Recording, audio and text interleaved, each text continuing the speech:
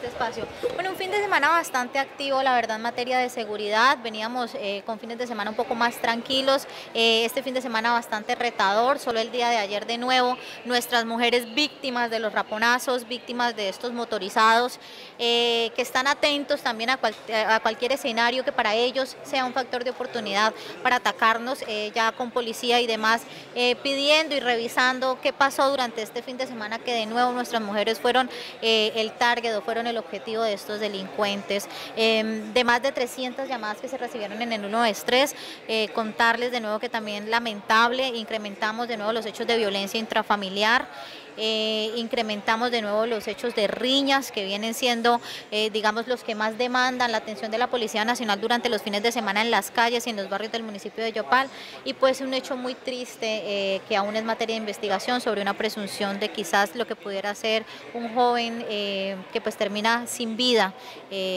durante este fin de semana, aún en hechos que están por esclarecerse, pero que de nuevo nos llama a expresar primero de parte de la administración municipal un saludo de condolencia, un saludo de solidaridad, un abrazo fuerte a la familia de este joven y segundo de nuevo el llamado que estamos haciendo pues a toda la ciudadanía frente a temas de salud mental, frente a temas también de, de, mm, mediación, de diálogo, de habla, de escucha que pues estamos tan ávidos a nivel de sociedad eh, después de lo que fue un año de pandemia y de reactivación económica. Doctora Karen, eh, durante el fin de semana usted señala que eh, se registraron casos contra las mujeres. Uno de esos hay un...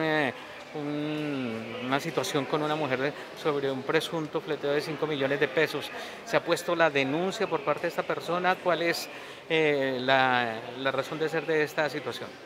Bueno, un hecho lamentable y rechazable. Como secretaria de gobierno y como mujer, como siempre lo hemos dicho, nosotras las mujeres no tenemos por qué ser el objetivo de vulnerabilidad de los delincuentes y acá nuestra fuerza, nuestra fuerza pública tiene una tarea muy fuerte, muy importante y es ayudarnos a la protección, pero también nosotras a la autoprotección. Eh, sí he estado en contacto con la víctima desde el día de ayer, eh, hemos estado tratando de, lograr la denuncia por parte de ella, hasta el momento pues en este momento ya ella de nuevo pues se encuentra recibiendo atención médica, no ha sido posible, eh, solicitó el señor alcalde a la SIGIN que acompañara el proceso de denuncia. Anoche tratamos de hacerlo en su lugar de residencia, no fue posible. El día de hoy pues todavía, como les indico, estamos em, en ese procedimiento para poder lograr la denuncia efectiva por parte de ella. Acá una invitación muy especial también eh, a las personas que lamentablemente sufren algún hecho eh, como el hurto y es que inmediatamente pidamos el acompañamiento de las autoridades, que pidamos que nos aclaren cómo se puede hacer la debida denuncia, pero no podemos dejar pasar tiempo.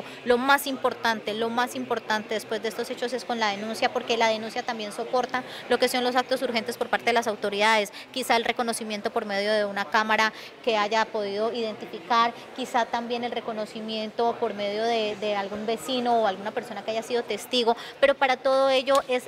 es necesario la denuncia, ya que una invitación muy importante a la ciudadanía. Eh, como ciudadana, porque además de, ser unos, de estar en estos cargos públicos, pues uno también anda en las calles con su familia, sus padres, mi hijo también está en las calles y todos podemos ser, eh, digamos, estamos expuestos a, lo que está sucediendo. Y es uno, los hábitos de prevención, el tratar de no manejar estas altas sumas de dinero eh, en efectivo, eh, si las vamos a manejar, tratar de ir acompañados, tratar de no estar en, solitario, tratar de no, no movernos, digamos, durante mucho tiempo con estas altas sumas de dinero, los vándalos están ávidos y, ellos, se las, ellos se las arreglan para saber y para, pues, para darse sus, como, como lo dirían coloquialmente, darse sus mañas y poder, y poder identificar este tipo de situaciones. Eh, dos,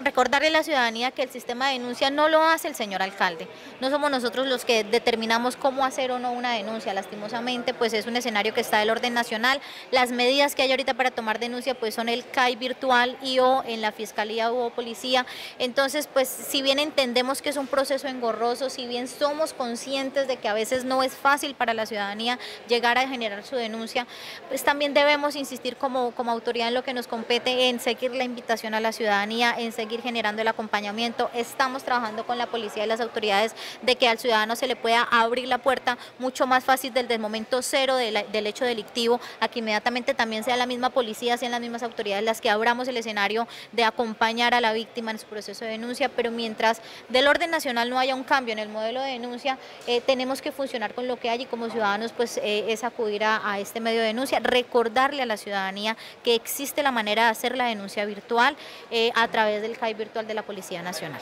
Secretaria, una de las situaciones que pues se veía más en esa mujer era la crisis que tenía precisamente por la situación económica. ¿Hay alguna forma desde la administración municipal de pronto de apoyarla con una unidad productiva?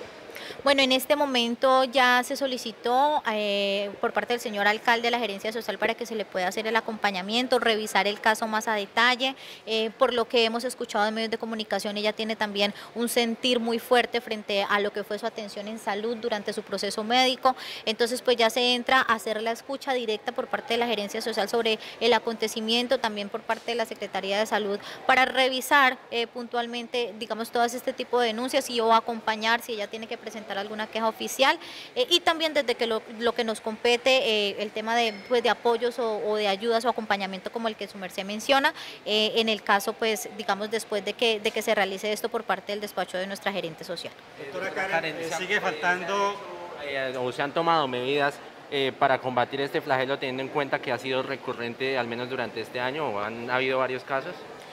Importante decir que lo hemos logrado contener, ¿no? El tema de, aunque, aunque digamos aparentemente eh, siguen, siguen existiendo, no, aparentemente no, seguimos teniendo casos de raponazos, pero hay que decir que la medida de, restricción de parrillero también ha sumado mucho a, la contención del delito. Eh, decirnos también que eh, las cifras, digamos, las medias, ustedes que están todos los días ahí atendiendo, las cifras de reporte de casos de hurto, pues también han reflejado como esta contención y con un caso menos que tengamos en la calle, pues es un ciudadano más que hemos tenido en materia de seguridad. Sin embargo, el reto sigue siendo constante y el reto no es de hoy, ni de un caso, ni de dos casos, es de todos los días 24/7, tanto por parte de la fuerza pública como nosotros de la administración, estar haciendo el seguimiento y el acompañamiento a la ciudadanía. Es nuestro deber, es nuestro rol y nuestro papel estar escuchando y acompañando a la ciudadanía, como lo, hicimos con la señora Diana, como lo hemos hecho con otros casos reiterados, eh, y también a los procesos de investigación que ustedes saben que están, que están en este momento cursando, el tema de eh, lamentable el yopaleño que pierde la vida en un intento de hurto a, a, una, a una joya, eh, el otro yopaleño que también, aguazuleño, perdón, que también fue víctima y, que ya gracias a Dios contarnos que ya está en su proceso de recuperación, que ya se encuentra con su familia, que ya está pues superando este, este lamentable hecho y, pues bueno, ¿qué hemos hecho?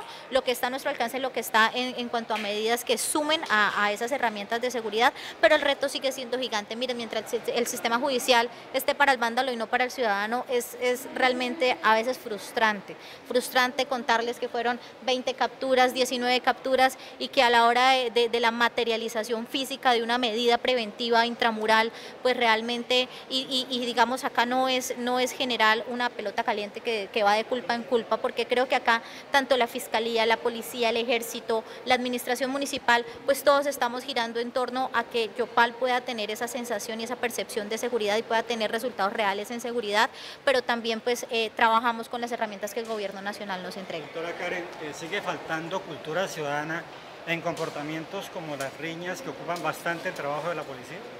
Sí, em, em, más que faltando, eh, tenemos mucho por hacer y sumar. Creo que el tema del uso desmedido del alcohol